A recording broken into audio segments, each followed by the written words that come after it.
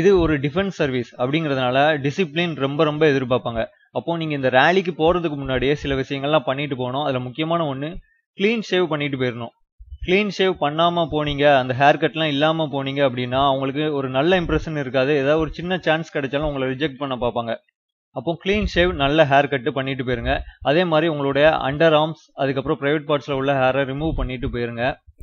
ஏன்னா உங்களுக்கு மெடிக்கல் டெஸ்ட்டில் ஒன்லி ட்ரௌசரோடு தான் சில டைம் நிற்க விடுவாங்க. அப்போ மெடிக்கல் ஆஃபீஸர் செக் பண்ணும்போது அவங்களுக்கு முகம் சொல்லிக்கிற மாதிரி எதுவும் இருக்கக்கூடாது. அந்த மாதிரி நீங்கள் பார்த்துக்கோங்க. அதுக்கப்புறம் இயரில் காதில் உள்ள வேக்ஸை ரிமூவ் பண்ணிட்டு போயிருங்க. காதில் எந்த ஒரு அழுக்கும் இருக்கக்கூடாது.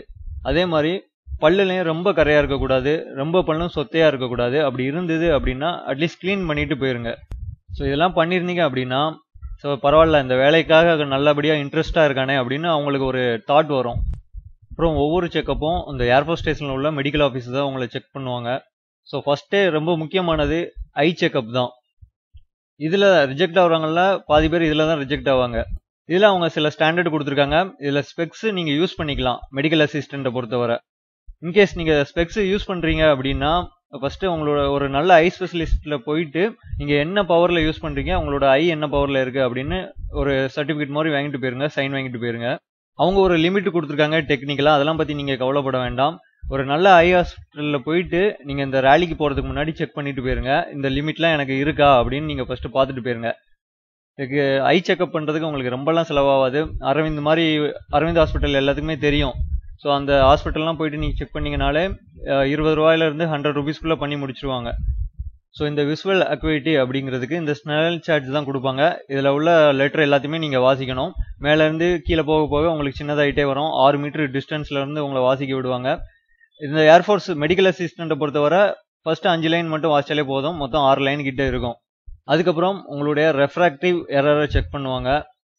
ஒரு ஆஃபீஸரை உங்கள் முன்னாடி நின்றுக்கிடுவாங்க ஒரு பேனா இருக்கும் இல்லாட்டி கம்பு இருக்கும். அந்த பேனாவோட டிப்பை பார்க்க சொல்லுவாங்க. அந்த பேனாவை அப்படியே நகட்டிகிட்டே கொண்டு போவாங்க.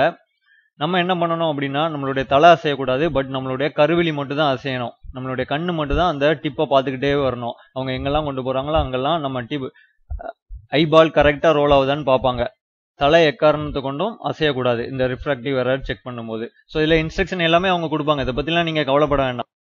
அடுத்து கலர் விஷன் சிபி த்ரீன்னு கொடுத்துருக்காங்க. ஸோ இந்த மாதிரி சிகாரா சாட்டுன்னு ஒன்று கொடுத்துருவாங்க. இதில் நடுவில் ஆரஞ்சு ரெட்டு க்ரீனு ஒயிட் அப்படின்னு சில நம்பர்ஸ்லாம் இருக்கும். இவங்க பார்த்தீங்கன்னா ஃபைவ் எல்லாத்துக்கும் தெரியும்ல. இது யாருக்காவது தெரியாமல் இருந்தால் அவங்களுக்கு கலர் பிளைண்ட் இருக்குது அப்படின்னு அர்த்தம். இந்த மாதிரி வரிசையாக கொடுத்து அதை வாசிக்க சொல்லுவாங்க. நம்பர் இருக்கும். நம்ம கரெக்டாக நம்பர் வாசிக்கணும். இந்த டெஸ்ட் மூலயமா உங்களுடைய கலர் பிளைண்ட்னஸ் இருக்கா இல்லையான்னு செக் பண்ணுவாங்க. ஸோ இதுதான் அவங்க மெயினாக செக் பண்ணுற ஒரு டெஸ்ட்டு அதனால் ஐ டெஸ்ட் மட்டுமாவது நல்லா பண்ணிட்டு போயிருங்க. ஒரு சீப்பாக நீங்கள் உங்களுக்கு பண்ணணும் அப்படின்னா அரவிந்த் ஐ ஹாஸ்பிட்டல் பெஸ்ட்டாக இருக்கும். அப்படி இல்லாட்டி உங்களுக்கு தெரிஞ்ச ஒரு பக்கத்தில் உள்ள ஐ ஹாஸ்பிட்டல்லையும் போயிட்டு நீங்கள் செக் பண்ணிக்கலாம். அடுத்து மெடிக்கல் ஸ்டாண்டர்ட் கொடுத்துருக்காங்க. ஹைட்டு செஸ்ட் எல்லாம் கொடுத்துருக்காங்க. ஸோ மேக்ஸிமம் எல்லாத்துக்குமே ஒன் ஃபிஃப்டி டூக்கு மேலே தான் இருப்பீங்க பசங்க. அதுக்கப்புறம் செஸ்ட்டு பார்த்தீங்கன்னா உங்களுக்கு இவ்வளோ தான் இருக்கணும் அப்படின்னு கொடுக்கல. பட் உங்களுக்கு விரியும் போது அஞ்சு சென்டிமீட்டர் எக்ஸ்ட்ரா விரியணும் அவ்வளோதான் அதை மட்டும் கொஞ்சம் விரித்து பழகிக்கோங்க. வெயிட்டை பொறுத்தவரை பிஎம்ஐ இண்டெக்ஸை பார்ப்பாங்க. ஸோ உங்களுக்கு ஹைட்டுக்கு ஏற்ற வெயிட் இருக்கணும் அவ்வளோதான் ஸோ இந்த வெயிட்டை பற்றிலாம் நீங்கள் கவலைப்பட வேண்டாம். மேக்ஸிமம் பத்து கேஜி கிட்ட டிஃப்ரென்ஸ் இருந்தாலும் ஒன்றும் பிரச்சனை இல்லை. செலக்ட் பண்ணிடுவாங்க அடுத்து உங்களுடைய ஹியரிங் டெஸ்ட் எப்படி இருக்குன்னு பார்ப்பாங்க. ஒரு கொஞ்சம் தூரம் டிஸ்டன்ஸில் ஆஃபீஸர் இருப்பாங்க.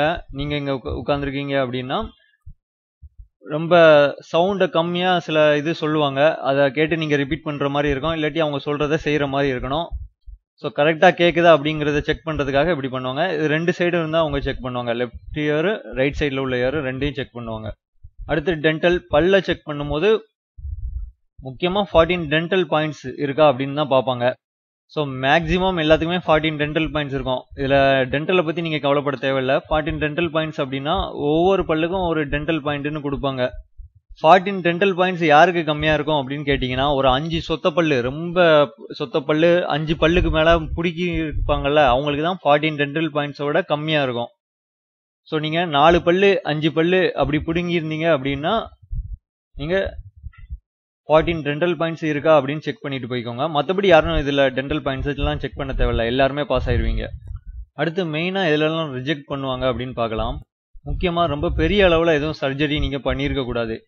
ஓரளவு சின்ன சர்ஜரி அப்படின்னா ஓகே பாதி பேர் கண்ணுக்கு வந்து அந்த லசிக் சர்ஜரி பண்ணியிருப்பீங்க. அப்படி பண்ணியிருந்தா கூட நீங்கள் அந்த சர்ஜரி பண்ணி சிக்ஸ் மந்த்ஸ் ஆகியிருக்கணும். மற்றபடி ஏதாவது பெரிய சர்ஜரி சர்ஜரி அந்த மாதிரினா அவங்கள ஃபார்ம் ஃபில் பண்ணும்போதே கேட்பாங்க ஏதாவது சர்ஜரி பண்ணியிருக்கீங்களான்னு அதெல்லாம் நீங்கள் கரெக்டாக கொடுத்துருங்க. அதுக்கப்புறம் ஃப்ராக்சர் ஆகி அந்த பார்ட் ஏதாவது செயல்பட முடியாமல் ஃபுல் மூமெண்ட் பண்ண முடியாமல் இருந்தது அப்படின்னா அதுக்கான ரிஜெக்ட் பண்ணுறதுக்கான வாய்ப்புகள் அதிகம். இப்போ கையில் ஃப்ராக்சர் ஆகி கையை மடக்க முடியாமல் நீட்ட முடியாமல் இருந்தது அப்படின்னா அது கொஞ்சம் டவுட்டு தான். ஸோ இது நான் சொல்கிறது எல்லாமே உங்களை ரிஜெக்ட் பண்ணுவாங்க அப்படின்னு கண்டிப்பாக சொல்ல முடியாது. அது மெடிக்கல் ஆஃபீஸரை பொறுத்து தான் அவங்களுடைய மைண்ட் செட்டை பொறுத்து தான் அவங்களுடைய முடிவு தான் இறுதியானது. பட் இதெல்லாம் முக்கியமாக செக் பண்ணுவாங்க. அடுத்து நாக்னி. நாக்னிங்கிறது நம்ம இப்படி ஸ்ட்ரைட்டாக நிற்கும் போது நம்மளுடைய முட்டு ரெண்டும் இங்கே உரசக்கூடாது. அதுதான் நாக்னி அப்படின்னு சொல்லுவாங்க. இது வந்து இங்கே தொடையிலேருந்து உங்களுக்கு இந்த கேப் வழியாக பெண்ணை போடுவாங்க. அப்படி பெண்ணு போடும்போது அது கரெக்டாக கீழே வந்து விழணும். நீங்கள் ஸ்ட்ரைட்டாக நிற்கும் போது நடுவில் இங்கே மாட்டிக்கிட்டு அப்படின்னா உங்களுக்கு நாக்னி இருக்குது அப்படின்னு அர்த்தம். அடுத்து பவுலெக் பவுலெக் அப்படின்னா இதே மாதிரி ஸ்ட்ரைட்டாக நிற்கும் போது கால் அந்த முட்டு வந்து சில பேத்துக்கு இப்படி இருக்கும். இந்த ஷேப்பில் இருக்கும். இந்த ஷேப்பில் வந்து இருக்கும். அப்படியும் இருக்கக்கூடாது. சரிங்களா? நாக்னியும் இருக்கக்கூடாது பவுலுக்கும் இருக்கக்கூடாது. நார்மலாக நிற்போம்ல அந்த இதில் இருக்கணும். அடுத்து முக்கியமாக ஃப்ளாட் ஃபுட்டு இருக்கக்கூடாது. சில பேருக்கு காலில் பார்த்தீங்கன்னா அந்த கருவு இருக்காது. அதாவது நீங்கள் ஒரு தண்ணியில் நடந்துட்டோ அந்த மாதிரி நீங்கள் தரையில் கால் வச்சிங்கன்னு வச்சுக்கோங்க. சில பேருக்கு அப்படி தட்டையாக இருக்கும். இப்படி செவ்வகத்தில் வச்ச மாதிரி இருக்கும். நார்மலாக இருக்கணும் அப்படின்னா உங்களுக்கு வந்து அப்படி இந்த கருவு வந்திருக்கும். சரிங்களா இப்படி க காலை வ தண்ணியில் நம்ம கிட்டு நம்ம தரையில் வைக்கும்போது அந்த கருவு வரும்ல அந்த கருவு இல்லாமல் இருந்தது அப்படின்னா அது ஃப்ளாட் ஃபுட்டு அப்படின்னு சொல்லுவாங்க. ஸோ இந்த ஃப்ளாட் ஃபுட்டு முக்கியமாக செக் பண்ணுவாங்க. அடுத்து உங்களுடைய ப்ரைவேட் பார்ட்ஸையும் கண்டிப்பாக செக் பண்ணுவாங்க. அது சில ஸ்டேஷனில் மெடிக்கல் அசிஸ்டண்ட்டுக்கு செக் பண்ணுதாங்களான்னு தெரில பட் நார்மலாக ஏர்மனுக்கு போகும்போது ஓப்பன் எல்லாம் செக் பண்ணுவாங்க.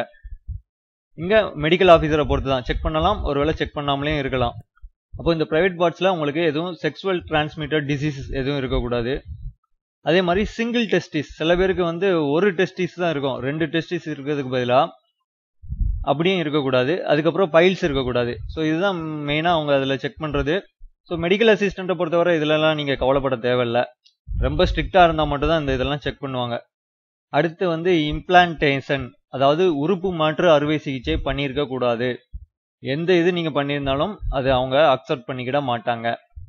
அடுத்து டேட்டூ டேட்டூ வந்து ஓரளவுக்கு லிமிட்டில் தான் கொடுத்துருப்பாங்க. ரொம்ப பெருசாலாம் நீங்கள் போட்டிருக்க கூடாது இப்போ இன்னர் ஆமில் போட்டிருக்கீங்க ஓரளவுக்கு அப்படின்னா ஓகே ஓரளவு அக்செப்ட் பண்ணிக்கிடுவாங்க. மற்றபடி இந்த வந்து நெஞ்சில் இவ்வளோ பெருசாக போட்டிருக்கிறது முதுகுக்கு பின்னாடி இவ்வளோ பெருசாக போட்டிருக்கிறது வேற எங்கே நீங்கள் டேட்டூ போட்டிருந்தாலும் அதெல்லாம் அக்செப்ட் பண்ணவே மாட்டாங்க. ஸோ டேட்டூ இருந்தால் கூட நீங்கள் ரிமூவ் பண்ணிட்டு போயிருங்க. அடுத்து எக்ஸ்ட்ராவாக பார்த்தீங்கன்னா உங்களுடைய ஹார்ட் ரேட்டு பிபி அதெல்லாம் செக் பண்ணுவாங்க. அதுக்கப்புறம் லங்ஸில் ஆஸ்துமா இருக்கான்னு பார்ப்பாங்க. அதுக்கப்புறம் உங்களுடைய ஹீமோக்ளோபின் கவுண்ட் எவ்வளோ இருக்குது யூரின் எடுத்து ஏதாவது ரொம்ப பெரிய ஒரு நோய் அந்த மாதிரி எதுவும் இருக்கா அப்படின்னு பார்ப்பாங்க. ஸோ இவ்வளோ தான் ஏர்ஃபோர்ஸ் மெடிக்கல் டெஸ்ட்டை பொறுத்தவரை. ரொம்ப நீங்கள் பயப்படுற அளவுலாம் ஒன்றும் இருக்காது. இதில் ஜஸ்ட் நான் இன்செக்ட் தான் சொல்லியிருக்கேன். இதை விட நீங்கள் அங்கே போய் பார்த்த பிறகு ரொம்ப ஈஸியாக தான் இருக்கும். எல்லாருமே நல்லா ஃப்ரெண்ட்லியாக தான் இருப்பாங்க. நீங்கள் அதை நினச்சிலாம் பயப்படவே தேவையில்லை. சரிங்களா? இன்கேஸ் உங்களை அன்ஃபிட் பண்ணிட்டா கூட நீங்கள் ரீமெடிக்கல் போடலாம். ரீமெடிக்கல் போடுறதுக்கு அந்த டாக்டர் வந்து உங்களுக்கு எழுதி கொடுப்பாங்க. இதில் நீங்கள் அன்ஃபிட் ஆகிருக்கீங்க அப்படின்னு. அதுக்கப்புறம் ரீமெடிக்கல் ஃபார்ம் கேட்டிங்கன்னா அவங்களே தந்துடுவாங்க அந்த ஃபார்மை நீங்கள் மூ மூணு நாளுக்குள்ளே ஃபில்அப் பண்ணி ஆவடி சென்னையில் கொடுக்கணும்.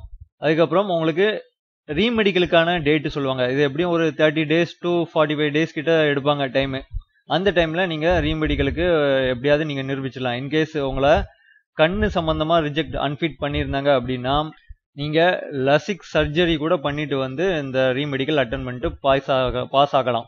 பாஸ் ஆனவங்களும் நிறைய பேர் இருக்காங்க அப்படி ரீமெடிக்கல் போட்டு. ஸோ ஃபைனலாக மேக்ஸிமம் எல்லாருமே மெடிக்கலில் செலக்ட் ஆவீங்க. ஸோ எந்த ஒரு பயமும் இல்லாமல் இந்த எக்ஸாமுக்கு நல்லபடியாக ப்ரிப்பேர் பண்ணுங்கள் வேறு இந்த மெடிக்கல் சம்மந்தமான எந்த ஒரு விதமான உங்களுக்கு டவுட்ஸ் இருந்தாலும் கமெண்டில் கேளுங்க. கண்டிப்பாக நான் உங்களுக்கு நல்லா உங்களுக்கு கிளியர் ஆகிற மாதிரி நான் அதில் ரிப்ளை பண்ணுறேன் நன்றி வாழ்த்துக்கள்.